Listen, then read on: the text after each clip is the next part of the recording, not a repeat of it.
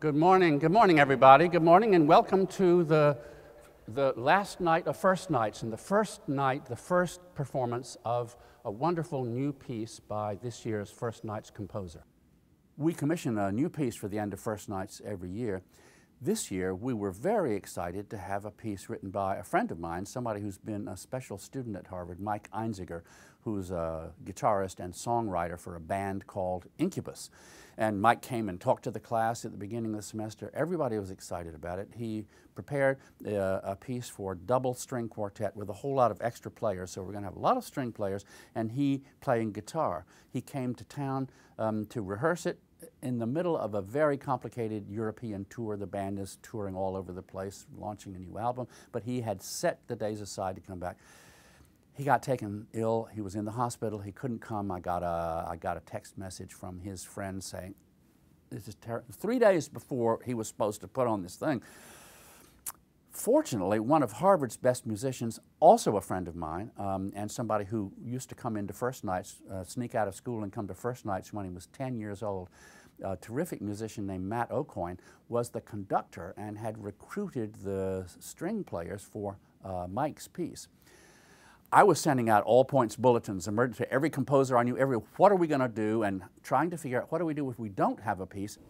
I remember that the, the, the, the subject of, of, of, Professor Kelly's email was eek, um, which summed up how we all felt about, about the situation at that time, because the premiere was, I think, six days away, five or six days away, and uh, there was no piece. And he said, Well, I have this piece for strings I've been working on. Maybe if I stayed up for three nights in a row, I could get it done. I, I had, a, a, I had really sketches for a string piece.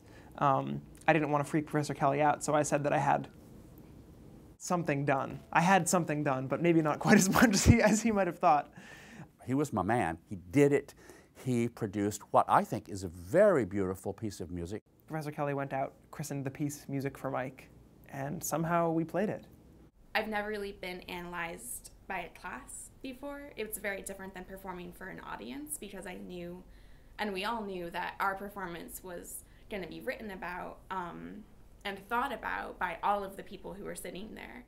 He made the experience of the students in First Nights, I think, one of the most exciting ones we've ever had because all first all first performances have problems and you have to run around and fix things at the last minute. But I've never seen one that came this close down to the wire. And I decided, well, this is a great opportunity uh, to help First Nights out. And also, frankly, it's, it's an, it was an opportunity for me too. I'm very grateful to Professor Kelly for, for taking the chance.